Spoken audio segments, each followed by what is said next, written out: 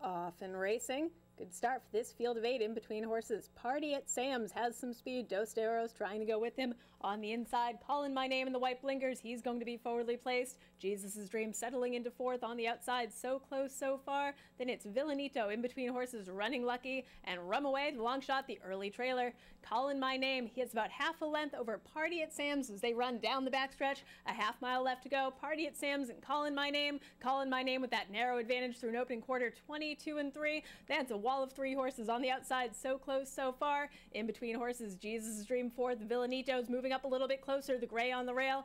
Then back to Dos Oros, running lucky, and nothing yet from Rumaway at the back as they go through the far turn. The battle continues on the front end. Calling my name and Party at Sam's, those two are exchanging blows, neither giving in just yet as they go through the far turn. On the inside, Calling my name, Party at Sam's has a little bit of momentum at the top of the stretch, and it's Party at Sam's. Calling my name comes right back at him. Jesus' Dream running greenly down the center of the track, but he has some momentum. Dos de Oros as well. Party at Sam's, Jesus' Dream with the late bid. Dos de Oros flying late, a 16th left to go. It's Party at Sam's and Alicia Ruiz trying to hold off Jesus' Dream. Party at Sam's, and Party at Sam's gets the celebration today. Jesus' Dream, Dos de Oros. Then a photo back and forth.